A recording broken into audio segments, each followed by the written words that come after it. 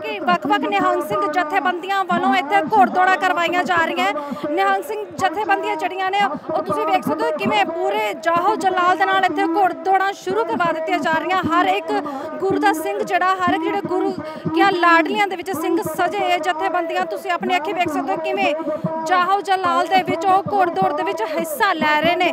ਇਸ ਵੇਲੇ ਤੁਸੀਂ ਆਲੇ ਦੁਆਲੇ ਸੰਗਤਾਂ ਦਾ ਇਕੱਠ ਵੀ ਵੇਖ ਸਕਦੇ ਹੋ ਕਿ ਕਿਵੇਂ ਦੂਰ ਦੁਰਾਡੇ ਤੋਂ ਆਈਆਂ ਸੰਗਤਾਂ ਇੱਥੇ ਮੌਜੂਦ ਨੇ ਅਤੇ ਕਿਵੇਂ ਉਹ ਇਹਨਾਂ ਦਾ ਨਜ਼ਾਰਾ ਜਿਹੜਾ ਉਹ ਵੇਖ ਰਹੀਆਂ ਨੇ। ਤੁਸੀਂ ਵੇਖ ਰਹੇ ਹੋ ਕਿ ਕਿਵੇਂ ਉਹ ਕਰਤੱਵ ਵੀ ਦਿਖਾਉਂਦੇ ਹੋਏ ਘੋੜਿਆਂ ਤੇ ਸਵਾਰ ਜਿਹੜੇ ਨਿਹੰਗ ਸਿੰਘ ਨੇ, ਕਿਵੇਂ ਘੋੜਿਆਂ ਤੇ ਸਵਾਰ ਆਪਣੇ ਕਰਤੱਵ ਵੀ ਦਿਖਾ ਰਹੇ ਨੇ। ਤੁਹਾਨੂੰ ਦੱਸ ਦਈਏ ਕਿ ਇਸ ਤੋਂ ਪਹਿਲਾਂ ਇਹਨਾਂ ਜਥੇਬੰਦੀਆਂ ਵੱਲੋਂ ਇੱਕ ਮੁਹੱਲਾ ਜਿਹੜਾ ਉਹ ਕੱਢਿਆ ਗਿਆ ਸੀਗਾ, ਜਿਸ ਤੋਂ ਬਾਅਦ ਮੁਹੱਲਾ ਇੱਥੇ ਪਹੁੰਚਿਆ ਅਤੇ ਨਗਾਰਿਆਂ ਦੇ ਨਗਾਰਿਆਂ ਦੀ ਗੂੰਜ ਦੇ ਵਿੱਚ ਇਹ ਘੋੜਦੌੜਾਂ ਜਿਹੜੀਆਂ ਉਹ ਸ਼ੁਰੂ ਕਰ ਦਿੱਤੀਆਂ ਗਈਆਂ ਨੇ।